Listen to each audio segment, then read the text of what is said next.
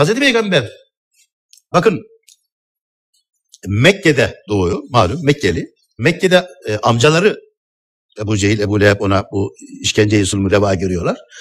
Onlarla fiili savaş halinde onların başlatması sebebiyle fakat Habeşistan Necaşisini bilirsiniz tarihi bilginizden. Habeş kralı Kral ha, evet. vefat ettiği zaman Hazreti Peygamber Medine'de ona cenaze namazı kılıyor. Dünya dünya bu olayı hatırlaması lazım. Doğrusu ben bunu bilmiyordum. Evet. Cehaletime Habeşistan kralı. Habeşistan kralı e, vefat ediyor. Resulullah Medine'de diyor ki gelin bugün dünyanın barışçıl insanı kardeşiniz Necaşi vefat etti. Gelin cenaze namazı kılalım diyor. Bu hadise Buhari'de cenayiz bahsinde efendim e, mevzup bir hadise tespit edildi. Olayın sebebi şu. Habeşistan kralı Hristiyan. Evet. Onu soracaktım. Acaba Evet. bir imanı mı var? Hani Hayır, az önce hayır, aynı. Habeşistan, efendime söyleyeyim. e, yani gerçek Bilinen manada. Hristiyan olarak Efendime öldü. söyleyeyim Hristiyan. Fakat Mekke'de müşriklerin zulmünden kaçan Evet. Müslümanları Habeşistan'da misafir ediyor. Onları koruyor. Hı hı, Ve Mekke müşriklerine diyor ki bunlar bana sığındılar, bunlara dokunamazsınız. hı hı. İşte Resulullah o barışçı bir insandır diyerek vefat eden bir Hristiyan kralın cenaze namazını kılıyor. Hı hı. Şimdi Kur'an-ı Kerim ve onun mübelliği olan Hazreti Peygamber savaşa barışa nasıl bakıyor? Din odaklı mı bakıyor? Barış odaklı mı bakıyor? Bunu anlatmak için bundan daha fazla örneğe gerek yok. Hı hı. Dolayısıyla bu mesele fevkalade önemli. Mekke müşrikleri o dönemde kutsal mekanlara tapınıyorlar. Evet. Kabe'ye tapınıyor. Efendime söyleyeyim başka meşair dediğimiz kutsal mekanları takdis ediyor. Fakat insanlara zulmediyordu. Onlar için kutsal olan mekandı, insan değildi. Kutsal mekan adına insanlara zulmediyorlar.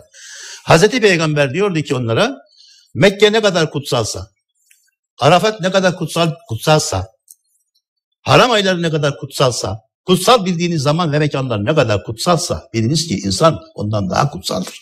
Onun malı da, canı da, ırzı da haramdır, dokunulmazdır. Hazreti Peygamber'in getirdiği espri bu. Eşyaya kutsiyet veriyorlar ama insanı köleleştiriyorlar.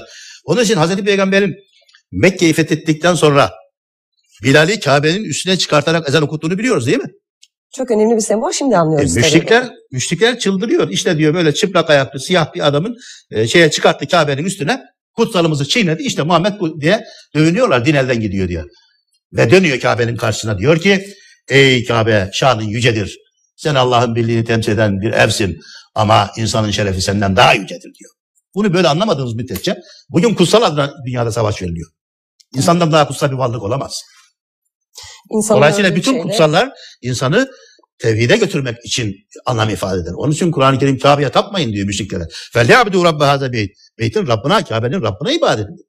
Dolayısıyla insanlık bunu anlaması lazım. Savaşın gerekçesi din değil. Hı hı. Kutsal mekanlar değil. Onun için kutsal mekanlar savaş vasıtası olmamalı. Kutsal mekanlar eğer onun kutsallığı, kutsiyeti anlaşılıyorsa bu kutsal mekanın efendim çağrışımıyla bize verdiği ilhamla bütün insanlığa barış ve huzur getirmeye bir vesile olmalıdır. Yoksa e, kutsal mekan var, kutsal mekan için biz birbirimize savaş ediyoruz. Buna çok dikkat alması gereken bir şey. İnsanın öldürüldüğü yerde, canın katledildiği yerde Kutsal, kutsal olmaz. kalmaz. Maide suresinde buyurur ki Cenab-ı Hak men katele nefsen bir kişiyi öldüren. Nefis can demek. Orada imandan falan bahsetmiyor insan can. Tabii. Bir can alan bütün insanlığa kurşun sıkmıştır. Bütün insanlığı katletmiştir. Bunu anlamak durumunda. Ve o ayet Tevrat'ta da birebir aynıdır biliyorsunuz. Evet, tabii. Bu çok enteresan Tabii, bir şey. tabii. Dünyayı kurtaran insanı kurtarır. Tevrat'ta birebir. Aynen Tabii, Maide suresinde tabii. de var. Dolayısıyla öldürmeyeceksin. Zaten bu işler Tevrat'a aykırı. Hazreti Musa böyle mi yapıyordu? Hazreti Musa böyle mi yapıyordu? Hazreti Yakup böyle mi yapıyordu? Hazreti İshak böyle mi yapıyordu? Dolayısıyla insanlık e, hakikaten e, kendisine gelmelidir. Bu zulümlerden efendim uzaklaşmak durumundayız. Artık bu din e, kılıflı savaşlar diyelim. Haçlı savaşlarının neye mal olduğunu biliyoruz. Kendi içinde Batı dünyasının değil mi e, yüzlerce yıl süren savaşlarının nelere mal olduğunu biliyoruz. E, Müslüman dünyada da e, maalesef hele son zamanlarda bir felakettir. Bir felakettir bu. Dolayısıyla e, e, şunu söyleyebilirim bu konuda. En doğru anlaşılan din, en gerçek din hangisidir? Bu soruyu bir soralım. Şimdi az önce söylediğim şekilde ben dinle şeriatı birbirinden ayırdığım için zaten bir tane İslam'dır. Harika. Onu Yani nasıl tarif edeceğiz? benim görüşüm. Onu nasıl tarif edeceğiz? Onun temel özelliği nedir? İslam uleması demiştir ki Et tazimü lillah. Bilemek ve şefakatü halkillah. Bütün insanları kardeş görmek. Hmm. Bu kadar. Hangi din? Hangi din mensubu? Bir Allah diyor. Rabbimiz bir diyor. Hı hı. Ondan başka mabut yok diyor. Ve hangi dindar bütün insanlara ve mahlukata şefkat gösteriyor? Doğru din o dindir. Takip edilmesi gereken Evet yol. mesele o. budur. Kur'an'ın Kur'an bu bu söylediğim cümle bütün İslam ulemasının Kur'an'ın efendim Özünden çıkardığı özünden çıkardığı sonuçtur. Allah'a tazim, mahlukata, insana şefkat. Kur'an'ın reddettiği en temel şey nedir? En temel şey tefrikadır. Bölünmedir. İhtilaftır. Peygamberin lanet ettiği de bir şey Yani evet, fırkalara onun için. Hazreti Peygamber'e sen din adına bölünenlere, fırkalara ayrılanlara la senin asla bir işin olamaz. Dolayısıyla e, Banu Hanım yani bu mübarek günde insanlar e, şimdi dediğin gibi herkes kendi inancını, kendi mezhebini, kendi dinini, daha da alt gruplara ayrıldı böyle. Bu felaket. Bu felaket. Evet. Bu felaket. Yani